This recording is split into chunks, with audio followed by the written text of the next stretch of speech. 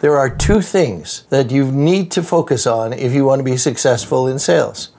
Only two things. The first and foremost is you must believe, and the second, you must be willing to pay the price. When I talk about belief, I'm not talking about I believe in the company or I believe in the industry or I believe in the products, I believe in my leadership. I mean an internal belief. I find it particularly frustrating when I bring people into the business to be professional salespeople and they struggle and they fail when I see the potential, when I see the capacity, it drives me absolutely crazy when they don't step up, when they don't use their capacity, when they don't use their potential, and they float along. And I don't know if this is a problem within society. There's so many people floating through life, accepting the status quo, not putting in the effort, not standing up for what they believe in, not sort of establishing their place. And this belief is a core belief. It's a, a, confidence you have about who you are and what you do. I've read a number of books in different languages, and in each title of each book, there is that word passion.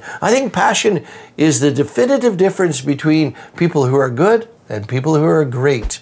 Am I great? I hope so, but I'm not sure of that. And I don't really want to talk about that, but I understand that if I can tap into my passion, if I can be really clear about what my intent is, I'm much more effective. You know, I'm a coach, I'm an international trainer, I'm an author. When I'm at my prime, when I am doing exactly what I should be doing, that passion comes out, that enthusiasm comes out, and people get it. They get me, they get the message you know, something I've always worried about since I first became an advisor, then became a manager of advisors, and so on and so forth, is I wanted to put in the hands of the people I coach what do you say and what do you do in any given situation? And in the hands of my clients, I want them to be in the best possible position. I want to make a difference in their lives. And so that's the enthusiasm I bring to what I do. And so, what we want to do is we want to make sure that your belief is there, that you understand who you are and what your triggers are. You know, I was coaching a person recently. They felt that they were a little too complacent, they felt that they really didn't put in the effort. And I said, Well, let's talk about what you value, what you stand for. You know? And when you get close to what you value, that in my case of making a real difference, of adding value, of helping people, you become very effective. You become very passionate and you become very attractable. People want to deal with you. People want to work with you. Why? Because you've got that enthusiasm. And so you've got to believe in yourself. You know, there's so many people I run into that give themselves these stories about how inadequate they are or ineffective they are or that they don't care, that they don't work hard, that they're not good people. That's not the case. But that's what they're telling themselves. And that story that they tell themselves becomes their reality. I would not ever say I'm perfect. I am not perfect, but I am improving. You know, there's those three words I live by that I feel blessed because I'm late 70s. I feel blessed because I'm healthy. I feel blessed because I'm surrounded with people I care about. You know, I feel grateful because I have people to love and I have people who love me and I'm thriving as a human being.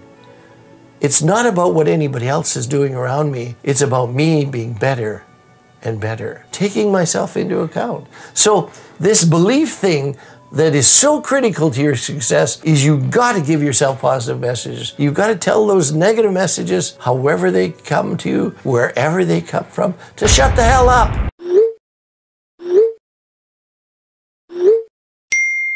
And start feeding yourself with positive messages. Start becoming passionate about who you are and what you do and why you're doing it. So you've got to believe. And if you don't, who will? And then finally, what you need to do is you need to think about the price you have to pay. I'm in the financial services business. I've been in this business for some 37 years of working as an advisor, a manager, being responsible, training and development, running courses all around the world, training, you know, 175,000 people, writing books and all of that stuff that immersed me in the business. And what I've realized about this business, it's tough, man. First, whatever you do is open to criticism, and you get lots of rejection. You call people wanting to offer what you have to offer, and they say no. No. What if I say no? No. No, I say no. Without knowing you, without knowing what you offer, they say no. And that rejection You can take that personally if you choose to.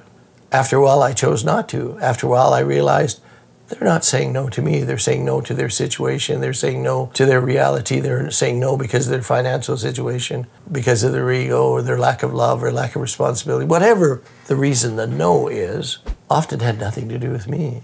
So the price you have to pay in this business is to work hard. Because in the financial services business, we take our products to the marketplace. There's no one knocking on our door saying, Let me in, let me buy. Now, does it happen? Yeah, it does happen, but very seldom. Most often, we're the ones knocking on people's door saying, Let me in, let me help, let me improve your situation, let me add value into your life and to those people you care about, let me protect you along the way. And that price we pay on a daily basis because when we do well, everybody within the company, within our team, knows that. And when we don't, everybody knows that. And so, what we want to think about is if we truly want to be in this business, if you're in this business and you're struggling and you truly want to be successful, then you got to pay the price. And it's hard work. It's long hours. It's a profession. It is not a freaking job. It's not something you can play at and expect to be successful. If you're casual about your learning in this business, if you're casual about your processes, you'll be acting like an amateur and you'll be paid like an amateur. You want to be paid like a professional? Don't act like an amateur. You know, learn this profession. There's a lot to learn. Not only the products and all that, but how do we interact with people? How do we compassionately, ethically, emotionally, intellectually deal with their objections, help them understand what we're doing, help them understand how much we care. You know, this phraseology you've likely heard me say before people don't care how much you know until they know how much you care. We, as financial advisors, have to show our customers that we care. And we, as financial managers, have to show our team members we care. Because if you care and they see that, they'll buy you, they'll buy what you offer, they'll buy your products, and you'll make a difference. So again, you want to be successful? Pay the price and believe. Now, I'm building this channel, so don't forget to subscribe. Hit the like button if you like what you've seen. Ring the bell so that you're reminded next time I'm producing a video. And I look forward to any comment you have that I could respond to and include in future videos. Wishing you the best. Please believe. Pay the price. Thank you.